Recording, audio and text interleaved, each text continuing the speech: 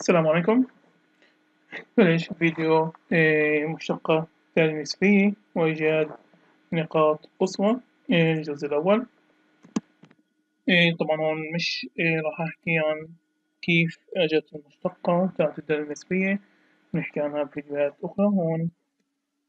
كيف استخدامها وكيف بنشتقها والقانون كيف هو وكيف بنستخدمه فقط. فقانون مشتق الدالة النسبية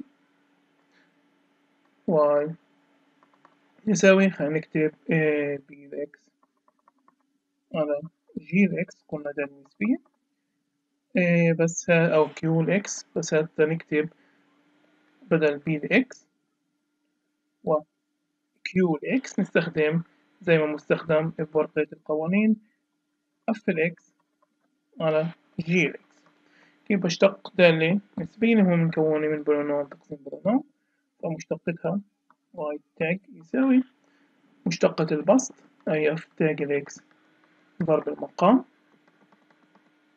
ناقص مشتقة المقام ضرب البسط أو البسط ضرب مشتقة المقام. أي f ال x ضرب g תג ال x تقسيم المقام تربيع. كم مرة منين أجا نشوفه في فيديوهات ثانية آه، بسلسلة آه، المتقاربات. فأمثلة. هذا القانون. مشتقة أمثلة. نأخذ الأول واحدة. الدالة الأساسية اللي هي y يساوي واحد على x هذا المثال الأول. بعد نشتقها على القانون. خطوة بخطوة شو بيعطينا y يساوي طبعا البسط هو f ال x بالنسبة لي والمقام هو g ال x فالقانون بقول لي f תג ال x أي مشتقة البسط مشتقة الواحد صفر ضرب المقام مقام x ناقص البسط زي ما هو اللي هو واحد ضرب مشتقة المقام أي مشتقة x اللي هي واحد تقسيم المقام تربيع أي x تربيع أيضا بينفع أشتقهن على جنب وأحطهن إيه بس إنه زي قطع الليجو يعني أجي أكتب إنه f ال x هي واحد f תג ال x هي صفر أو بستعمله شفت كمان u و v إيه أنا بحب أستعمل أف وجي أف الإكس وجي الإكس لأنه هيك مكتوب بورقة القوانين.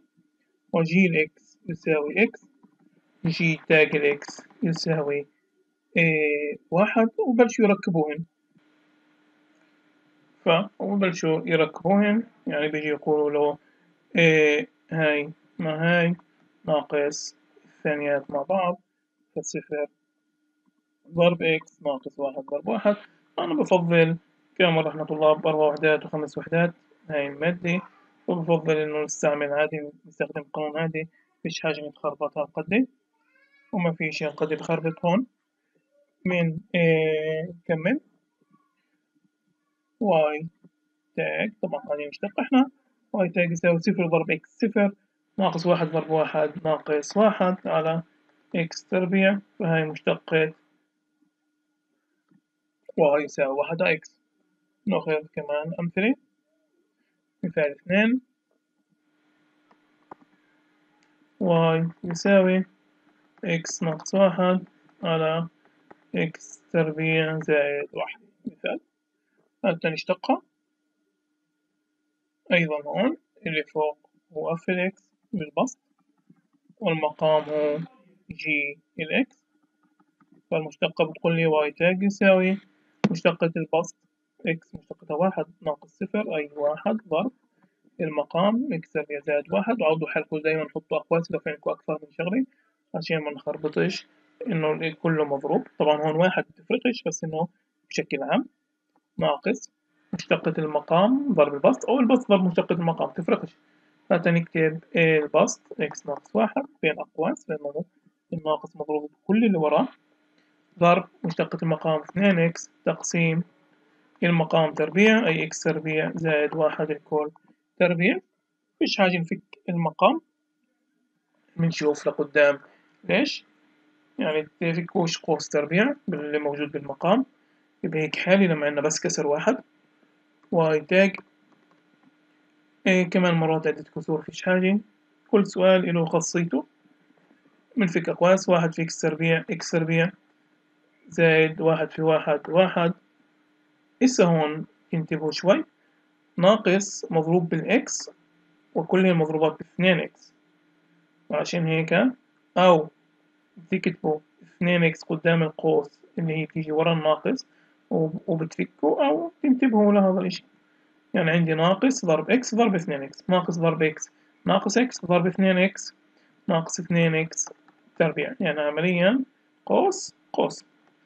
بعدين ناقص ضرب ناقص واحد وبدي أضربها كمان باثنين x ناقص ضرب ناقص واحد زائد واحد ضرب اثنين إكس زائد اثنين إكس كلها تقسيم المقام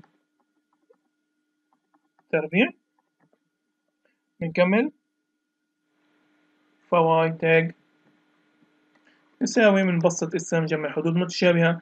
إكس تربيع ناقص اثنين. إكس تربيع تعطيني ناقص إكس تربيع. زائد اثنين إكس فيش غيرها.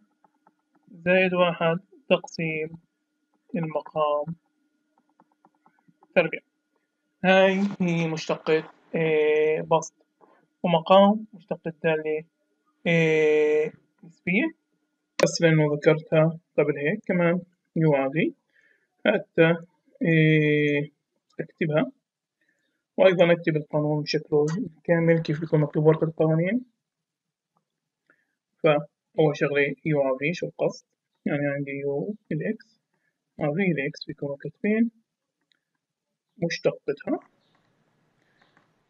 هي u תג ال x ضرب v ال x ناقص u ال x ضرب v תג ال x على تقسيم يعني الكل g ال x الكل تربيع لأن قلنا بورقة القوانين.